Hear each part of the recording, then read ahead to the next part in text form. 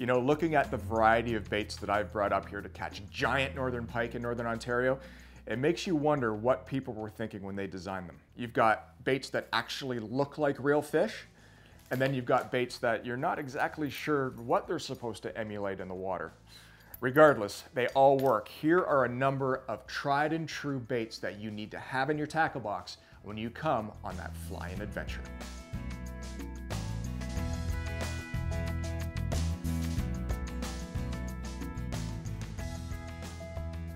Let's start with baits that actually look like fish. We've got rattle baits that are divers. These are amazing. So this one is a deep diver. It's, uh, it's a jointed, a jointed rattle bait. And the beautiful thing about these baits is that they are loaded on the inside with rattles.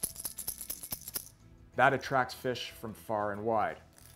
Keeping with baits that do look like fish, we've got swim baits, which are not dissimilar to the rattle baits and the, and the, uh, the deep divers, but these ones are meant to emulate an actual swimming fish. This one's a hard-bodied one, and this one's a soft-bodied one. I recommend keeping both in your box because if pike are turned off by the hard body, they're more likely to grab a hold of a soft body and hold onto it just a little bit longer so that you can set the hook.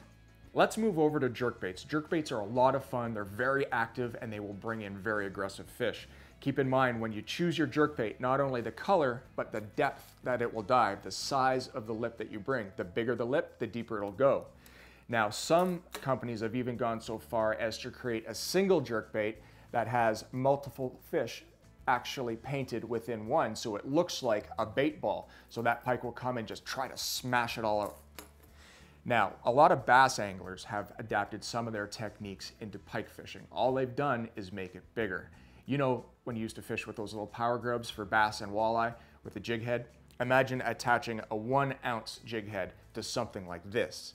Now that is a power grub for sure.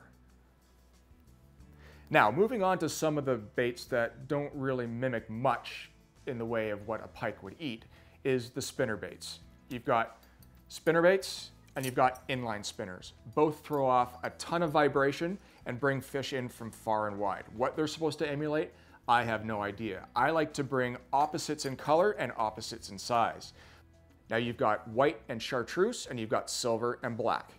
And on the other side, you've got black and orange and you've got chartreuse and silver. Different sizes as the pike will dictate what size they're looking for.